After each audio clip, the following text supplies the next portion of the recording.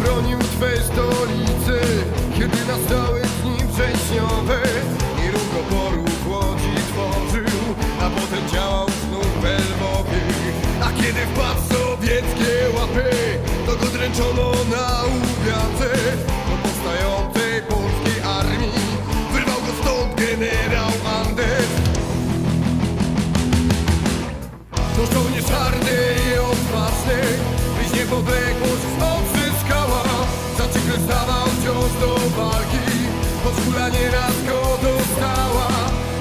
się odznaczył Lwowa bił pod Berecyną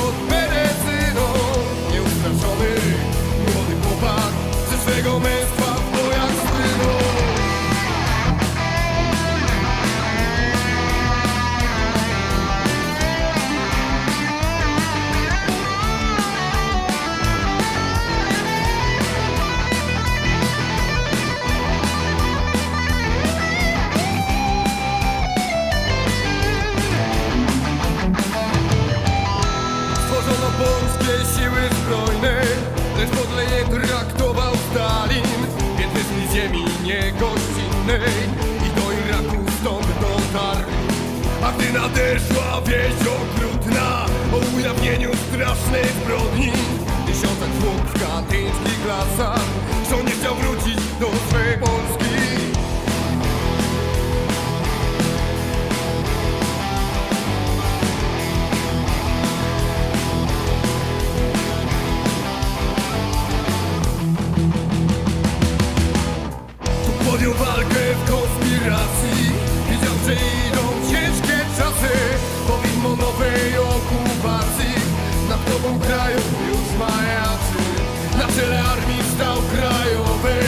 Był jej ostatnim komendantem.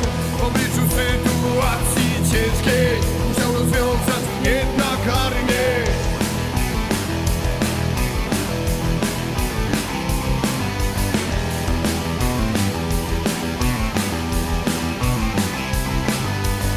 Żołnierzom wiernym niepodległej By nie zaznali krzywd od wroga I by ich chronić przed cierpieniem Żołnierze Armii Krajowej, daję wam ostatni rozkaz. Dalszą swą pracę i działalność prowadźcie w duchu odzyskania pełnej niepodległości państwa i ochrony ludności polskiej przed zagładą. Starajcie się być przewodnikami narodu i realizatorami niepodległego państwa polskiego. W tym działaniu każdy z was musi być dla siebie dowódcą. W przekonaniu, że rozkaz ten spełnicie, że zostaniecie na zawsze wierni tylko Polsce oraz by wam ułatwić dalszą pracę, z upoważnienia pana prezydenta Rzeczypospolitej Polskiej zwalniam was z przysięgi i rozwiązuję szeregi AK. W imieniu służby dziękuję wam za dotychczasową ofiarną pracę. Wierzę głęboko, że zwycięży nasza święta sprawa, że spotkamy się w prawdziwie wolnej i demokratycznej Polsce. Niech żyje wolna, niepodległa, szczęśliwa Polska.